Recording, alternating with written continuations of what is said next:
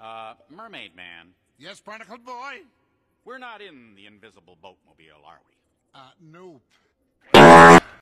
I told you making the boatmobile invisible was a stupid Come idea. Wherever you are. It's gotta be here somewhere. Eh? oh, Mermaid Man, I think I. Found it! Get a move on, son. We don't have all day.